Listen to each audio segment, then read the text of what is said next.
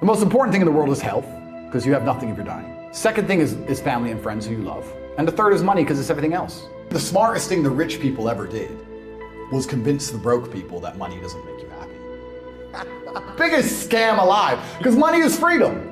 It's freedom to drive what you want, eat where you want, go where you want. Money is freedom. So you want to say money doesn't buy happiness, well, then you're saying you're happy to be a slave, because only money is going to give you freedom. So money absolutely is happiness, because freedom is a bare minimum requisite to happiness. I can't think of many scenarios where being rich was a detriment over being poor. There's not many. I think money is a bare minimum requirement for happiness, especially if you're a masculine man who wants to outcompete. Then you need money, because money is basically everything. And they've convinced people, the poor people, oh yeah, he has money, but you know, I have friends and family who love me. So do I. People are psyoped into thinking that rich people are somehow lacking somewhere else. And I'm sure some of them are, but not all of them. There are some people that have everything, just have to accept it. Some people just have it all. They have friends and family and good relationships and love their kids and a bunch of money. And if that doesn't anger you to get up and make a bunch of money, well, I don't know what will. The solutions I've, I've come up with in my mind, of course, are money because money is power. I hmm. want people to understand that when I talk about, we talk about how money is the root of all evil. Money is also the root of all good. Money is money is the vested time and interest of other humans. Hmm. If you have a bunch of money, you have the stored energy of other people. I'll give you a very simple example. I have money, so I can get somebody to sweep my floor. I have their stored time and energy in a note or, or on a bank balance where I can make them sweep a floor for as many hours as I so choose because I can afford to pay them. It's the stored time and energy of other people. So for evil to be done, it requires the time and energy of humans, and for good to be done, it requires the time and energy of humans. So money is like gunpowder. Can be used for good, it can be used for bad. It's like germ theory. You can save people's lives or you can create a pathogen that decimates a populace.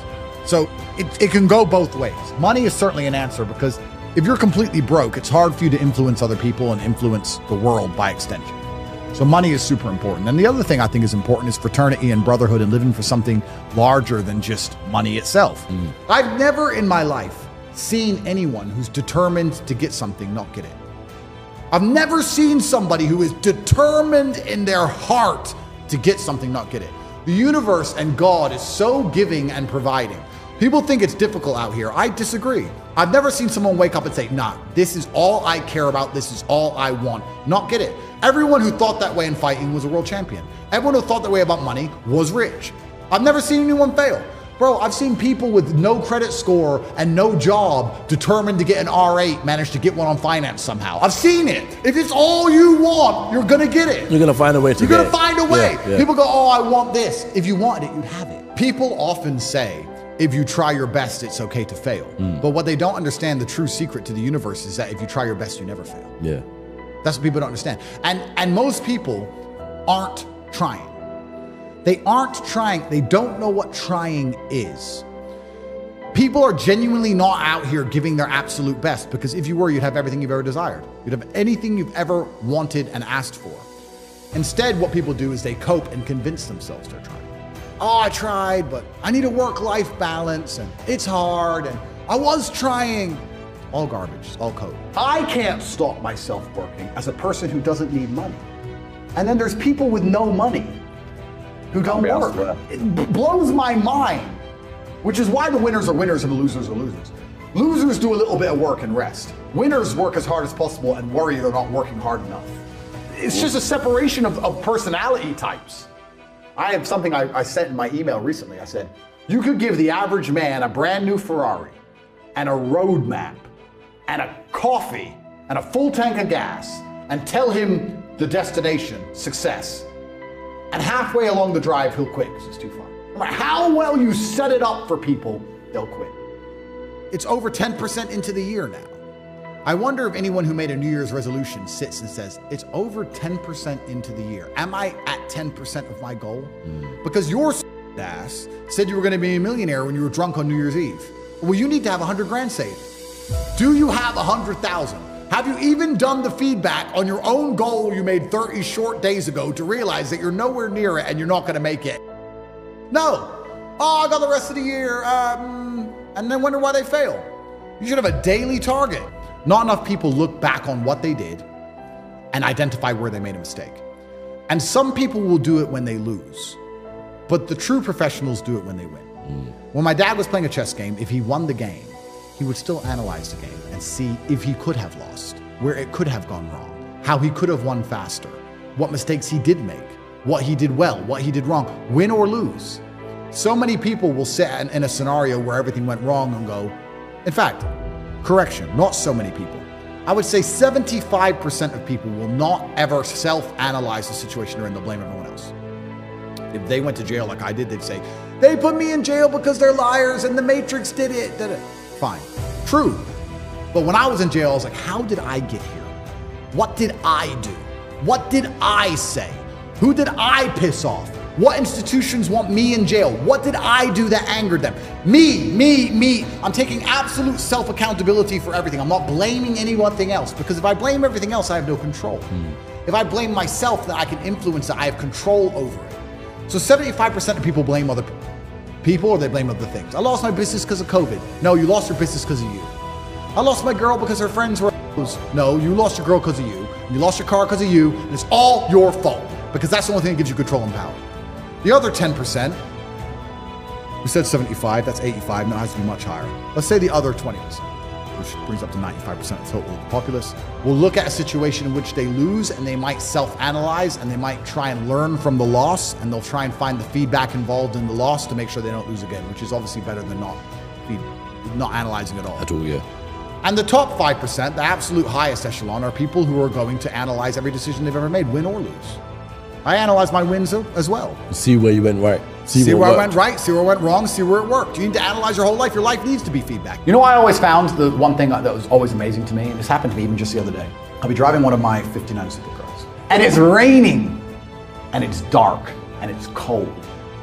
And I see people at a bus stop, and I'm at the traffic light. and I'm like, It's freezing, and it's raining, and it's nighttime, and you can't afford an Uber. If that won't motivate you, I don't know what will. Because the worst thing about the bus isn't the bus, it's the time you wait for the bus. Time is money. You're gonna sit stand there for 45 minutes in the freezing cold and waste your time to save a couple dollars on an Uber, and you don't feel panic to get rich. This is another thing that's amazing to me about motivation.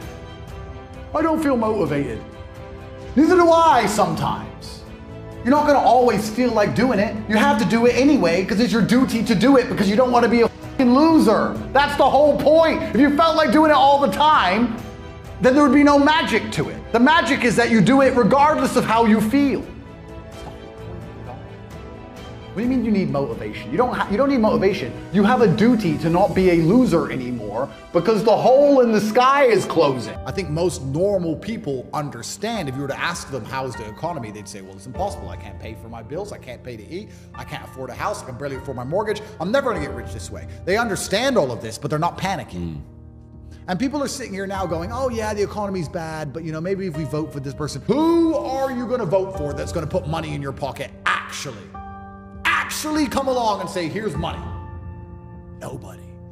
Still got to pay your council tax, still a brokey, nobody cares. No one you vote for is going to change it. It's going to get worse, it's going to continue. And you know the boat is going to sink and you're not panicking. That's why I kind of catch myself. And one of the things I try very hard not to do is become elitist. Because when you've come from the absolute bottom to the absolute top and you've done it all off of your own back and hard work and dedication and never missing a day, the only shortcut to life is to never miss a day. One, because of com- compounding interest, and two, because sometimes you get lucky. And you'll never miss a lucky day if you try every day. If you don't try every day, you might miss your lucky day. And that's what people don't understand. If you never miss a day and you never don't try and you're always on time, was I late today? No, on time. And you try and improve every aspect of your life and you're a professional and you try and make sure that you analyze your decisions, you give yourself feedback, you don't make mistakes, you're not lazy. If you try and you make it to the top, you end up elitist because you look at the people down below and you're like, well, why didn't you try? I did. I think men are happy when they feel better. I think we're naturally competitive. That's why we've always done what we've done. Why did Genghis Khan need Vienna? Bro, that's Austria. Look at a map. Why did he need Vienna? It took him probably three months to even hear they were at Vienna. By the time he got the message, they probably already conquered it. Why did he need it? Because he won. Why do I need the stuff I have? Because other people can't have it. It's mine. And I think that that's where masculine happiness comes from. Because I think men are happy when they feel respected. And you're going to respect yourself if you look around and you have things other people don't have. Why do I walk into the showroom and buy the two available cars that I don't want? Because it's one man's dream and now another man can't buy it. Why do you play sports? To win. To win. Why do you want to put a ball in a net more times than the other people? To show that you're better than them at putting a ball in a net. How insignificant an action. A ball in a net. Who cares? A much more significant action would be making a bunch of money, or being physically stronger, or a better fighter, or being smarter, a quicker talker, or being more well known, more respected, more influential. That's far more important than putting a ball in the net. And you'll spend your time putting a ball in the net to prove you're better than other people. So don't sit and say that I'm a bad person for proving I'm better than everyone else by all the things I'm doing. That's masculine competition. If there's a game being played and some men realize it's a battle and some men don't realize there's a battle going on, how can they possibly win? So some of you men are waking up every day not realizing you're in a forever permanent competition with every single man around you for everything, all of the time. And that doesn't ever cross your mind and you wonder why you permanently lose. Well, it crosses my mind and that's why I'm beating you. Women want the men who think this way. Women want the men who understand this, who win. That's what women want. So you can call it arrogant, you can call it egotistical. I call it winning. I call it realism. Call it realistic. And the best things about having most of the things I have is that other people can't have them. That's the bottom line of it. It's the reason why billionaires buy a bigger yacht than the billionaire next to them. They do not need an extra 20 foot feet of deck space. They want the biggest yacht in the harbor. It's the reason why they buy one of one Picassos. It's the reason why when Bugatti launch a new car with 80 units, they're all sold same day. That's why. Because winners all think the same way. And anyone who sits and goes, well, you should be more humble. I hear that sometimes. And then I look at who said it. And whenever someone tells me their opinion, this is a habit I give everyone at home. Whenever somebody gives you their opinion on anything, listen to the opinion and then stop and look at who told it to you. Because you never want to adopt the thinking of somebody who you don't want to be. Because their thinking made them. So whatever they believe in their mind is why they are the person they are. So if somebody sits and says to you, you should be more humble, I sit and think, okay, my logical, this is how my brain works. He believes I should be more humble. That's how his mind operates. The closer my mind operates to his mind, the more likely I am to be like him. Who is he? And I'll look at the person who said that to me and say, no. Because most people who talk about humble, all they really want is to not be reminded of how they have failed. They don't want me to make it clear to them that they have failed. They have failed. I feel like normalcy has been changed from being a winner to being a loser. In the 60s, you could be a normal man who worked in a factory, an unskilled labor job, and with one wage, you could afford a house, you could afford a car, you could afford to raise a family, your children would not be taught garbage in school, Yep. your wife would respect you, you'd have a home cooked meal. Times were good. Like, times were good. All the things I said about playing Uno earlier in Hyperbowl are true. What matters most? Your wife loves you. You're respected as the breadwinner. Your kids respect you. They listen to you. Mm-hmm. Your house is clean. Your house is safe. Your car works. Your life is good. So now being normal is just losing in a way which is so familiar to the people around you are losing that you don't realize you've lost it all. Because everyone's losing. So you're like, oh, I'm just normal. No, no, you've all lost. You've all lost. None of you are free. You've all lost. And that's even more scary. You can't even be normal anymore. To be a winner, you have to be exceptional. You could be a winner as a normal person only 50, 60 years ago. Now the normal people can't even win. So you need to be able to do amazing things and then be proud of yourself. Don't sit and think you're great for no reason. That is arrogance. I'd argue that the normal person who thinks they're so unique and great for no reason is more arrogant than me. The problem with most people in the world today is not that they do a normal thing, it's that they do a normal thing and they don't try to be the best at it. So you can be a barista and you can just make coffees, or you can be a barista that makes the fancy coffees and can turn over all the cups and do like the, the tricks and all the garbage. we have a man who became a billionaire from salt. Yes. From salt. you can all put salt on, he did it the best. Bam. So the first thing you need to do is get very good at making coffees. That's the first thing you need to do. Be able to do it in a fancy way. Then you need to solicit attention. Well, you can make coffees in a fancy way, you can hire a videographer, you can then begin to make fancy coffees in a fancy way, and you can make it look good with a finalized product, and you can get a nice video made that's well cut with some fancy music. You begin to put them on Instagram and solicit people to watch your Instagram page. Now you have attention. How do you then turn that attention into money after you began to show your fancy coffees? Well, you could, let's say, put together a course or an academy or write a book on the magic of coffee or the secrets of coffee and you would put a mystery on it. Don't say, I'll teach you how to make coffee. No, say the secrets of coffee. You'd have a link in your Instagram page and it would be $9 and it would tell people the secrets how to make coffee. You'd start to sell that for $9. You'd make a couple hundred or a couple thousand, not too much, but you continue to make fancy coffees. People continue to go to your Instagram page. You're now selling the secrets of how to make coffee. Then, after people start knowing you as being a barista, you start to make these $9. You have $20,000, $30,000 in the bank what you can do is launch your own coffee brand. You can go to Alibaba.com, you can find some coffee beans, you can put your face on it because your face is now a recognized brand. You can get your own coffee beans, you can begin to sell them on Instagram. Before you know it, you're making ten or fifteen thousand dollars a month. You can start to do tours.